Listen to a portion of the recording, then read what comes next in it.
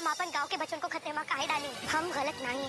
हमेशा की तरह इस बार भी तुम्हारे पास कोई प्रूफ नहीं हम अपन बेगुनाही साबित कर दी है।